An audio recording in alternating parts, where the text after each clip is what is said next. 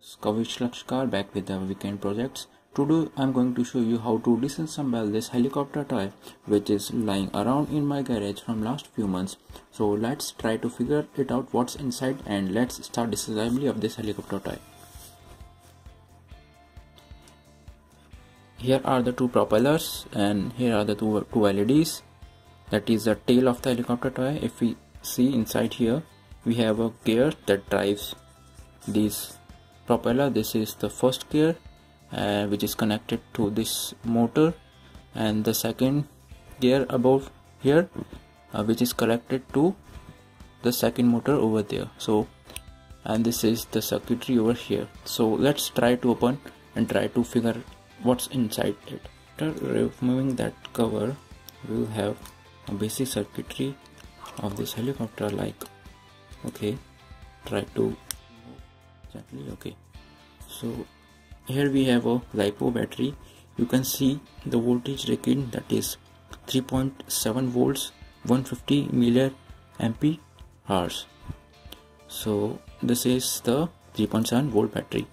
So now let's try to disassemble remove the protective tape over here so that we can get to the circuits. Okay. So here we have a lipo battery. Okay so this is the circuit. You can see this is a infrared sensor over here and this is power connector to charge the battery on off switch. Here is a small circuitry which drive these two motors over here these two mini motors the one over here and the second one over here. With the help of these two gears these are the two LED for night drives that makes helicopter while flying a pretty good. So let's try to desolder the battery first and we'll move further. So we will first desolder the battery with the help of soldering iron.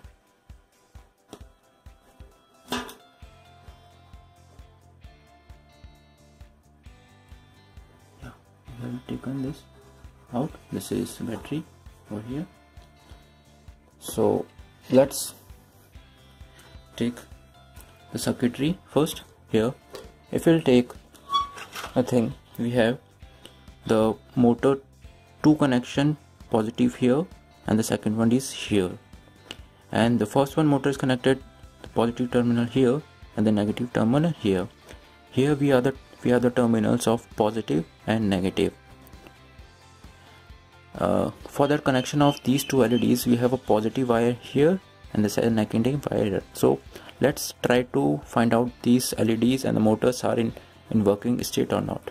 So I'll connect a portable power bank supply of 3.7 volts which I have.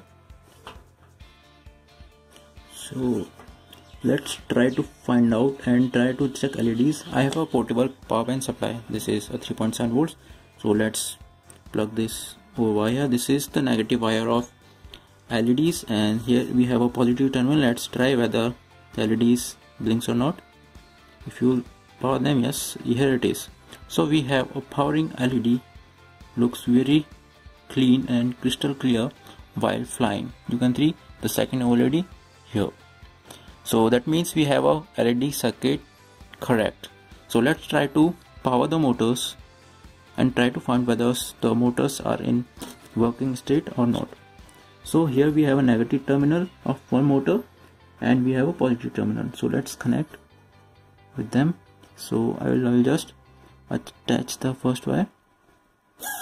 Oh like that. We have a hope you can see the power driving motor. You can listen the sound. If not just try to see whether we have a rotating radar yes yes here.